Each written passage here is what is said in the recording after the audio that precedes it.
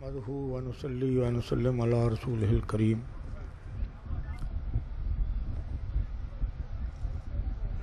मशाम कराम मेरे मोजज़ पीर भाइयों, पहले तो मैं ये आपकी खिदमत में अर्ज़ कर दूँ कि आज दो दिन से मेरे दांत में शदीद दर्द है, जिसकी वजह से मैं रात को सो भी नहीं सकता। अल्लाह ताला की बारगाह में मेरी इल्तजा है कि वो अपने हबीब के सदक़े और उसके तुफ़ैल, जिसके याद में ये कॉन्फ्रेंस मनद हो रही है, मुझे भी सेहत दे और हमारे मुफ्ती साहब को भी अल्लाह ताला सेहत का कामला फरमाए। आप हजरात, मुफ्ती साहब का खिताब भी सुन चुके हैं और किबला शाह साहब के भी। इसमें कोई शक वाली बात नहीं है कि हजूर शेख़ुल इस्लाम का वो मकाम है कि ना तो उनके इल्म का कोई अहाता कर सकता है, न फ़कर का, न वलायत का। कोई इंसान ऐसा नहीं जिसकी ज़बान और जेन आपकी ज़ात का अहाता कर सके। एक दफ़ा सरगोधा में आप तशरीफ़ फरमा थे तो ये न्याजमंद ग़ुलाम भी हाजिर था। तो मैं देख रहा था बड़े गौर से हजूर के चेहरे अनवर को, कि क्या खूबसूरत है ये हस्ती। अल्लाह ताला ने क्या अपनी नेमत हमें अता फरमाई है, जो हमारी हर कदम पर रहनुमाई फरमाता है। तो हजूर मुस्कुरा के मेरी तरफ़ देखते हुए फरमाया कि जितना जितना वक्त गुजरता जाएगा, लोग उतना मुझे याद करते जाएँगे। आज मैं देख रहा हूँ ये कॉन्फ्रेंस सिर्फ़ यहाँ नहीं, हम ये कॉन्फ्रेंस कॉन्फ्रेंसें तकरीबन हर शहर में, हर गाँव में हर जगह पे ये कॉन्फ्रेंस मनक़द हो रही हैं।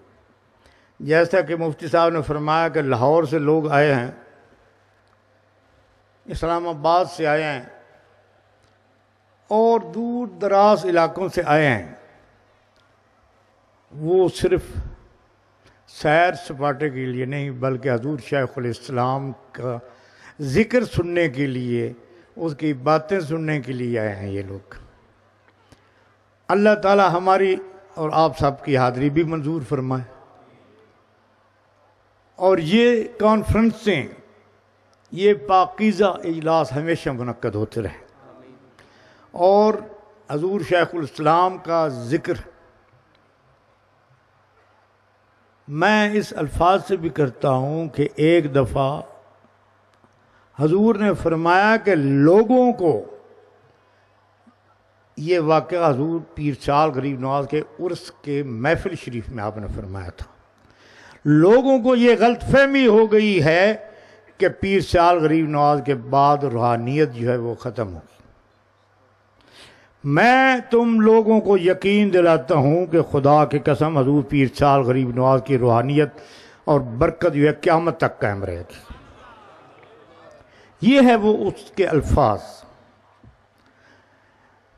वो ही हस्ती है जिसको ना कोई खरीद सकी है, ना कोई डरा धमका सकी है। गवर्नमेंट बरतानिया ने ब्लैंड चेक पेश किए।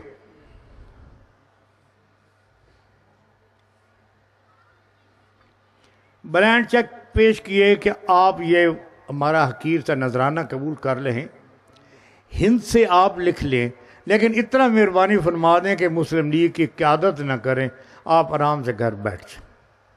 सर्दी का मौसम था, आपने वो कहा जिसको हम चेक कहते हैं।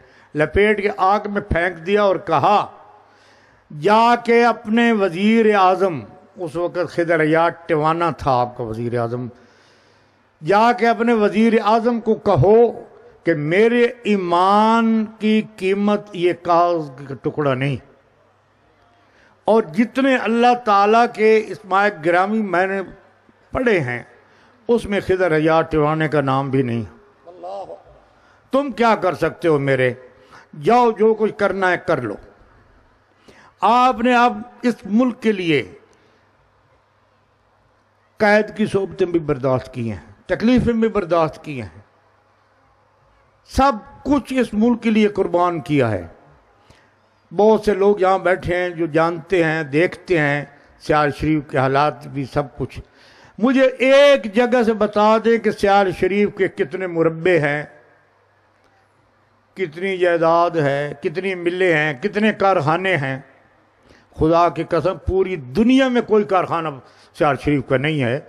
बगैर एक कारखाना है और वो है रहमत का रूहानियत का कारखाना। जो पूरी दुनिया को लुटा रहा है दिन रात लुटा रहा है। दुनियावी कारखाने तो क्या है? आज हैं, कल नहीं हैं। हम उसकी ग़ुलामी को कायम रखें। जिसकी ग़ुलामी के सदके अल्लाह ताला हमारे दीन को भी और दुनिया को भी रोशन फरमाएगा।